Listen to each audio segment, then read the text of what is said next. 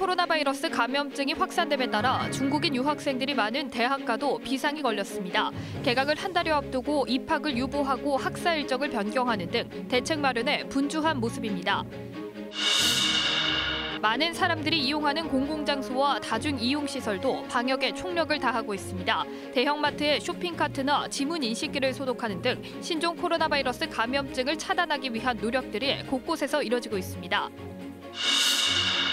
한정공대 개교가 2년 앞으로 다가왔지만 교육부의 법인 설립 인가가 보류되면서 개교에 차질을 빚는 것 아니냐는 우려의 목소리가 나오고 있습니다.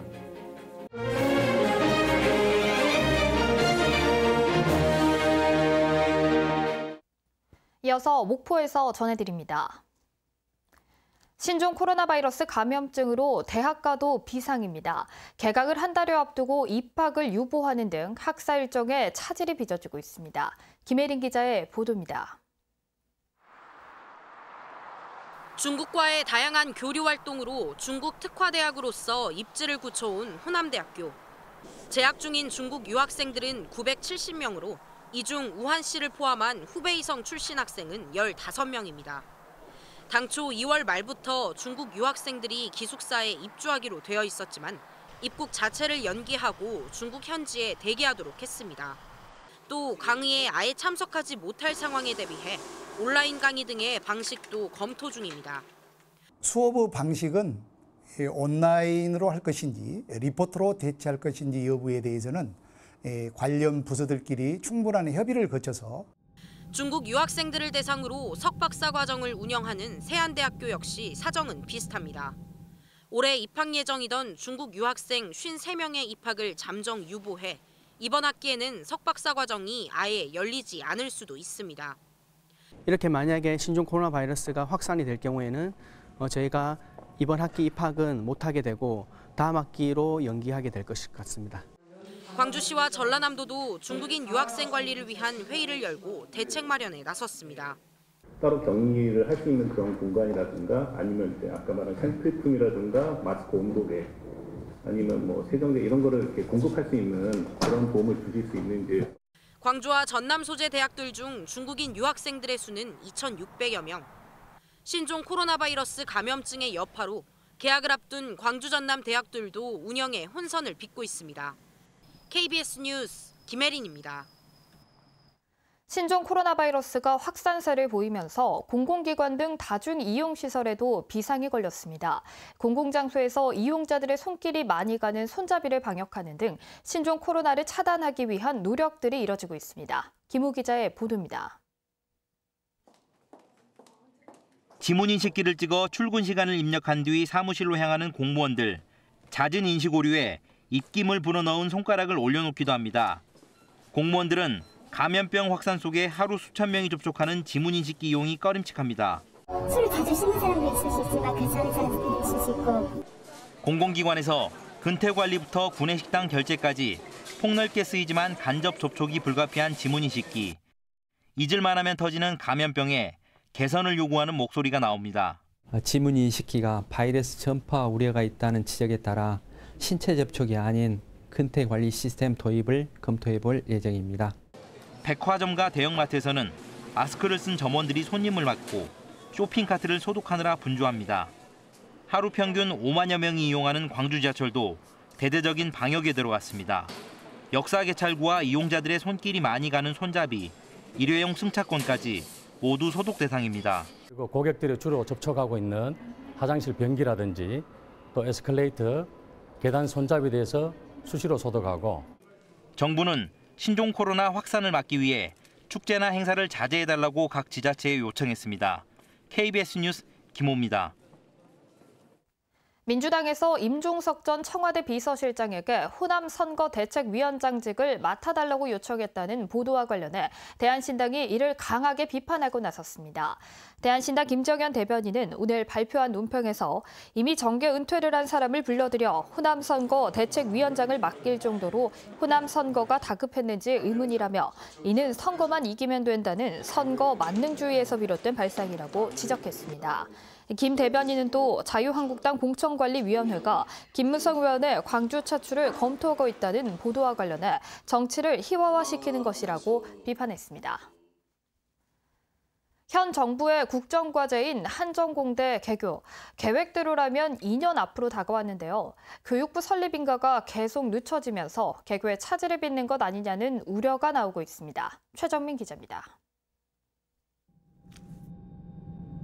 한정공대 법인 설립 결정이 또다시 미뤄졌습니다. 이미 이사회 의결을 거친 만큼 인가 결정을 낙관했지만 지난해 말 이어 두 번이나 보류됐습니다. 교육부 대학 설립 심사위원회는 한전에 서류 보완을 요청했지만 보류 결정의 뚜렷한 이유는 알려지지 않고 있습니다. 딱 2년밖에 안 남았는데 너무 시일이 촉박하지 않냐 그런 생각도 지금 많이 하고 있습니다. 이번 보류 결정으로 정부의 예산 지원도 당장 영향을 받고 있습니다. 기재부 측은 특별법이 마련되지 않은 데다 예산 지원 근거인 법인 설립도 안 됐다며 지원에 난색을 표하고 있습니다. 한정공대 설립을 위해 향후 10년간 들어갈 돈은 약 1조 6천억 원. 하지만 현재 한정과 전라남도, 나주시가 마련한 재원은 2,600억 원으로 전체 12%에 그치고 있습니다. 여기에 설립 주체인 한전이 지난해 1조 원이 넘는 적자를 내면서 추가 예산 투입도 논란이 예상됩니다. 공기업인 한전이 계속해서 그런 저 불안정인 상태에서 해야 되는데 난 특별법이 굉장히 시급하다고 저는 봐요. 한전은 대학 설립 인가가 늦어지고는 있지만 캠퍼스 설계 발주와 교수진 선발 등은 예정대로 진행하고 있습니다. 교육부는 오는 28일 한전공대 설립 인가 여부를 재심의할 예정입니다. KBS 뉴스 최정민입니다. 다음은 희망 2020 나눔 캠페인에 성금을 보내주신 분들입니다.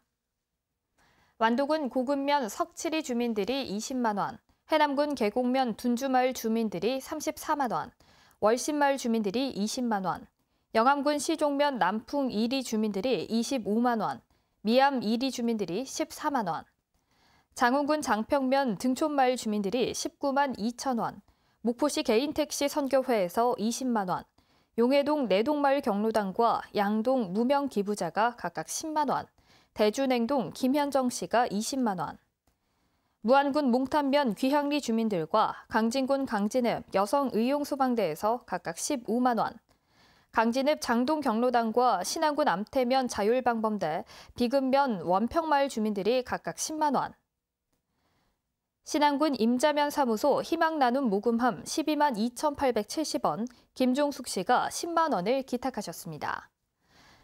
지난 두 달여 기간 동안 KBS 목포방송국에 기탁해 주신 성금은 모두 5억 9,728만 2,960원으로 지난해 같은 기간보다 1억 1,800만 원가량 늘었습니다. 이 성금은 전남 사회복지 공동 모금회에 전달돼 어려운 이웃을 위해 쓰여집니다. 그동안 성금을 보내주신 여러분께 모두 감사드립니다. 지난해 11월부터 진행된 전라남도의 희망 2020 나눔 캠페인이 목표 금액을 달성하고 마무리됐습니다. 전남 사회복지 공동 모금회는 오늘 오전 11시 목포시 오감동 사거리에 있는 사랑의 온도탑 앞에서 폐막식을 열고 모두 99억 5,180만 원을 모금해 사랑의 온도 100.9도를 기록했다고 밝혔습니다. 이는 올해 목표 금액보다 9,800만 원을 초과 달성한 금액입니다. 입춘을 하루 앞두고 강진 무의사의 홍매화가 꽃망울을 터뜨려 관광객들의 발길을 붙잡고 있습니다. 지난 주말부터 꽃망울을 터뜨린 이 홍매화는 예년보다 3주가량 일찍 개화했습니다. 강진구 관계자는 최근 봄 같은 겨울 날씨가 계속되면서 봄꽃이 서둘러 핀 것으로 보인다고 말했습니다. 광주 영화 상영인연대가 5.18 민주화 운동 40주년을 앞두고 시민 참여형 5.18 영화 제작 워크숍을 진행합니다. 이번 워크숍은 총 10차례로 기획과 시놉시스 작성, 촬영과 편집 등으로 진행되며 제작된 영상물은 광주 독립영화관에서 5.18 주간에 상영할 예정입니다. 모집 인원은 20명으로 영화 제작에 관심 있는 시민은 누구나 무료로 참가할 수 있으며 오는 7일까지 신청하면 됩니다. 전라남도는 오늘 자료를 내고 여순 사건 특별법 제정에 총력을 다하며 희생자 추모와 위령 사업도 펼칠 계획이라고 밝혔습니다. 전라남도는 올해 5.18과 여순 사건 등 과거사 지원 사업에 대한 계획을 설명하며 이같이 밝히고 여순 사건 관련 사업의 효과적인 추진 방안을 모색하기 위해 민관 협의회를 구성하겠다고 덧붙였습니다. 전라남도는 또 여순 사건 유족들의 증언을 영상으로 기록하는 한편 제주 4.3과의 교류도 이어나갈 방침입니다. 이른바 인구 빼가기 논란이 빚어졌던 전남 동북권 지자체 인구를 분석한 결과 올 초 순천은 지난해 연말보다 인구가 늘었고 광양과 여수는 감소한 것으로 나타났습니다. 행정안전부가 제공한 주민등록 인구 통계를 보면 지난달 말 기준 순천의 인구는 28만 1,014명으로 전달보다 1,400여 명 늘었습니다. 반면 광양은 15만 3,335명으로 같은 기간 3,400여 명 이상 급감했고 여수는 28만 2,356명으로 430명이 줄어든 것으로 나타났습니다. 코로나 바이러스 파동에 전남의 관광 산업도 타격이 우려됩니다. 전라남도 의회 김기태 의원은 지난해 말 전라남도가 우한을 비롯해 난창과 상하이 등에서 전남 관광 홍보와 전 세계 유치에 나섰으나 이번 바이러스 파동으로 사실상 수포로 돌아갔다고 주장했습니다. 또 무안공항의 장각의 노선이 이달 중 운항 중단을, 중단을 결정한 가운데 무안공항 8개 국제선 가운데 3개를 차지해온 중국 노선의 타격이 예상돼 무안공항 활성화에도 악영향이 우려된다고 지적했습니다. 신종 코로나 바이러스 확산으로 전남 시군의 행사가 잇따라 취소되거나 연기되고 있습니다. 장흥군은 오는 7일 개최하려던 정월 대보름 행사를 취소했고 순천시도 8일로 예정된 정월 대보름 행사와 시민과의 대화를 모두 취소했습니다. 담양군과 나주시도 이번 주로 예정된 주민과의 대화를 잠정 연기했고 여수에서 고흥 간 연륙 연도교 개통을 기념하는 전국 마라톤 대회도 취소가 검토되고 있습니다. 목포였습니다.